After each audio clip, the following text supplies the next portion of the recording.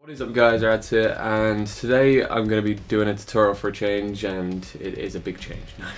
um, but yeah, we're just going to be doing um, optical flares and focusing on that. I'm going to go into depth on where, well, what's the easiest way to just kind of like keep the flare in one position and stuff like that. Um, I am editing a leftover series in case you didn't realise, because this is a bit of an old school shot. Um, but yeah, anyway, uh, I just wanted to quickly resolve an issue that happened in like the thir first episode. Um, when you start up Premiere Pro, um, because these this tutorial on this whole tutorial series, uh, it kind of just goes through After Effects and Premiere Pro. Um, but um, yeah, when, when when I first started out, when when uh, I showed you guys what sequence to pick, this AVC HD preset, uh, not a lot of you guys actually had it, so um, I'm pretty sure the way to get it is. Um, I know a lot of people out there um, they don't exactly pay for their programs. I'm not saying if I do or not, um, but uh, yeah, if you if you don't pay for your program and you don't and you pretty much like crack it or whatever, and you don't put in a serial, it's not going to act actually like activate the uh, full version, which doesn't activate these presets.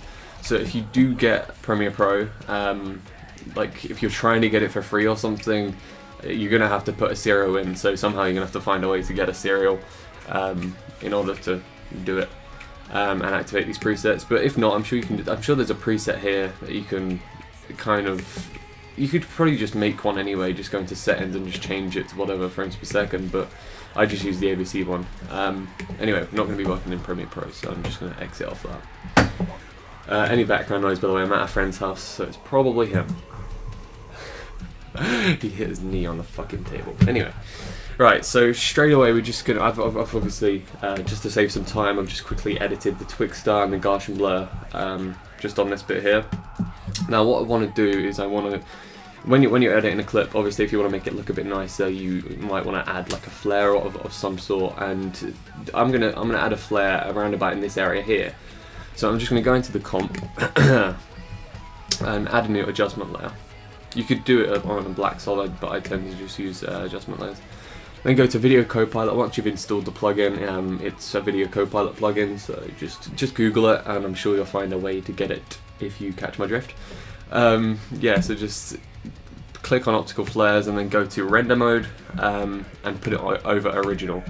And as you can see, it's just over our over our footage. You can move it around any way you want. You can you can move away uh, around the the bottom part, you know, I don't even know what it's called, but this part as well. Um, but yeah, there's loads of different um, things you can do. You can obviously change like the motion blur, the render mode, as I've, as I've just said.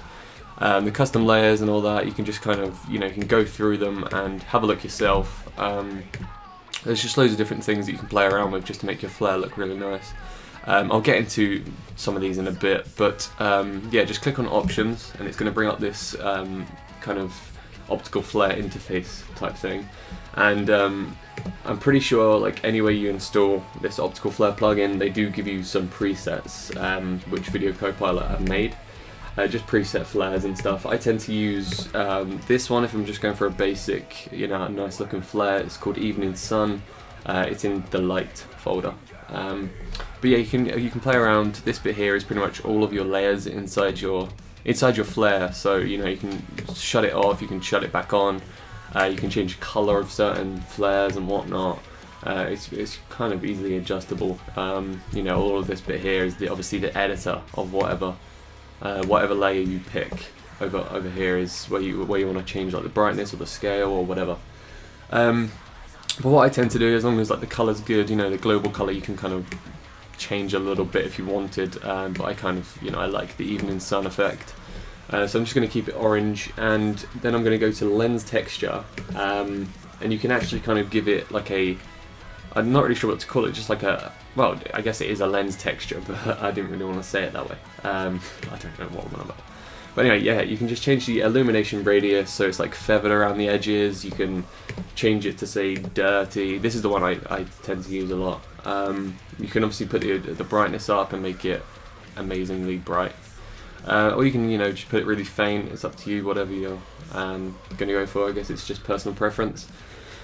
Um, but yeah, I'm just going to do that and I'm just going to give it a bit more, um, just show it off a little bit more. Um, maybe turn the brightness down a little bit uh, to 45 or something. Um, then just click OK and it obviously changes your flare and inside the comp now you can see uh, your flare. So I'm just going to put this um, center position, um, the bottom kind of adjustment, uh, just into the middle. And now I'm going to work on trying to keep this keep this flare in one position. Now I'm just going to shut it off by clicking the effects but It, it shuts it off, but you can actually uh, add keyframes and stuff while it's off. I just think it's easier while it's off. Um, but the, pretty much like the easiest way of doing this, I think, if you're editing COD, uh, you know, Call of Duty clips and whatnot, um, there's probably there might be easier ways out there, but the easiest way I find to do it is you want to click on the effect in the effect panel, and obviously you see this top. I'm just going to zoom into it. This top like circle adjustment.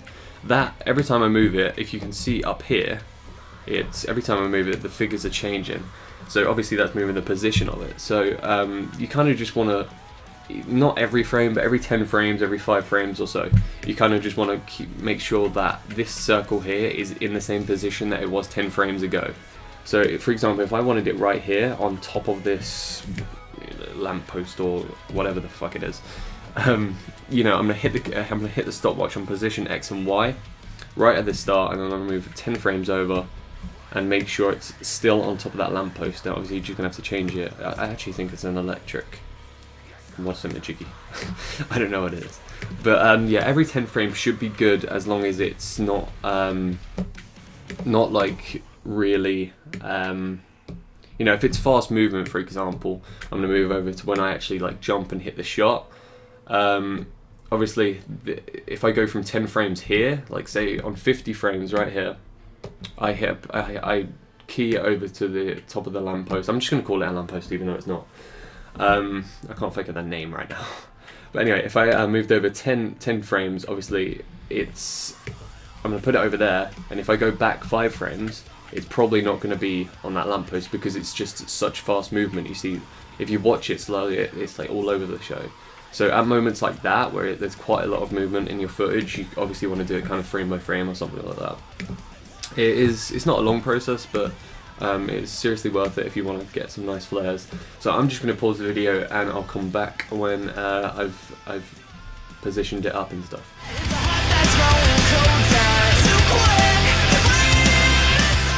Alright, so I'm back and I've uh, keyframed up the uh, the flare. Obviously, when you when you aim it through the scope, if whatever shot it is, obviously when I aim through the scope, I kind of want to uh, set off the flare um, you know, if I was to turn it on, it would be kind of over this black area, which doesn't really make sense if you think about it. So uh, I'm just going to shut it back off, and when I aim in, if your clip is like an, an aim-in shot or whatever, um, you just want to select the keyframe on the on the brightness, uh, click U on your adjustment layer, so it comes up with all the all the uh, keyframes and you just kind of want to keyframe it at 100 just before you've scoped in and then as you're scoped in you just want to set it down to zero so it's not there anymore.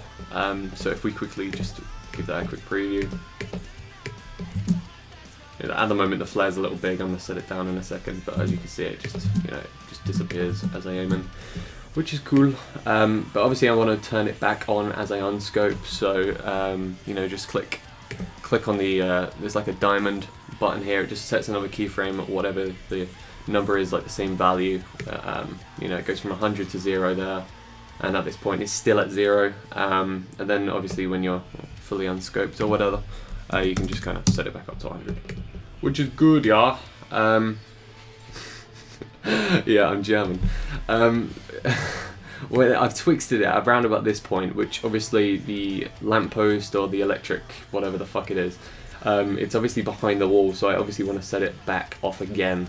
Um, so at this point, I'm just going to set it at 100 and then just set it back to zero at this point. So it's so it's just not in front of the wall, it's just still behind it and whatnot.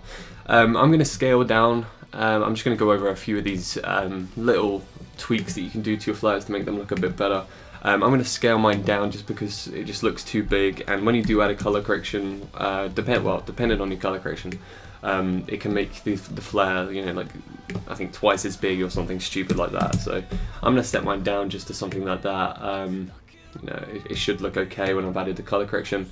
Um, but also the animation evolution, I'm not actually sure what that does. Um, if I, you know, if you turn it on, it doesn't actually seem to do anything. Um, you can obviously change the color mode from tint to multiply if you want. Um, the rotation offset, you know, you can fiddle around with any way you want the flares just to be rotated or whatever. Or whatever. Um, you can, if you want as well, keyframe the center position, which is like the bottom part of the lens, or this bit uh, right over here. Um, but because you know it, oh hello, um, because this is just such a basic flare, and I actually don't want to do that. I'm just going to keep it right in the center, so it just kind of moves moves where the where the center position does. Um, a good a good effect I like to use, you know, ignoring the position mode and all that. Um, if you go into Flicker and click on the down arrow, um, you just want to make sure it's on smooth, and you want to change your speed roughly to uh, 65 or something. Um, you can obviously twerk this or twerk. Oh my god, I can't stop saying that word now that I've seen that twerking video. Um, tweak it a little bit. Um, you know, it's just personal preference, whatever. It just pretty much makes your flare, flare flicker. Um, so if I just quickly round preview that, as you can see, it's just like flickering. Uh, let me just show you guys here. Yeah, as you can see, it's just flickering, which is quite a nice effect, and it does make it a lot more realistic. Um, but yeah, I mean, that's obviously up to you to whatever, um, to however you want your flare to be. Um, you can also make your, if you go back into options on this, uh, in this optical flare um, interface, you can obviously make your own um, custom presets and stuff if you want, you know, just, it's up to you obviously. Um, but yeah, there's there's just so many in here, which is it's just such a good job from Video Copilot to make something like this because the the lens flares that are built into After Effects are just so bad. So it's obviously great to have like an advanced um, type thing.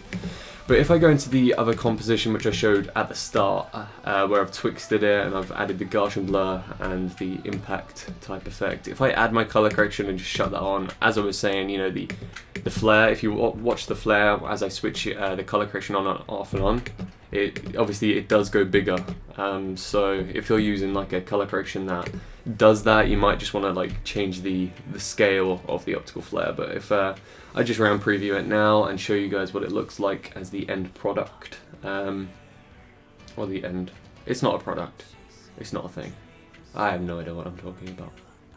Anyway, if I just show you guys this, um, it looks pretty good. You know, it's it's tracked in the same spot. It's it's pretty nice. I'm, I'm probably actually going to use this um, for for the episode. You know, I'm not going to tweak it a little bit. I'm, I'm just going to keep it as it is because it is a leftover. It doesn't have to be perfect, but it, it does look pretty decent like that. Um, so yeah, I, I'm I'm pretty sure that's it. That's all I can really teach you guys. I don't actually know much about optical flares myself. That's just pretty much what I do when uh, I'm making my effects and stuff. But um, yeah, um, expect a lot more tutorials in the future. I know I've said that in previous tutorials and not done any for months. Um, but I'm actually kind of trying to get back into YouTube and all that stuff. And anyway, let me know what you want to know. Um, let me know what you want to learn next episode. Yeah, I said that right. Um, and yeah, just like and comment if it helped. Goodbye. Bye. That was Liam. Today, today.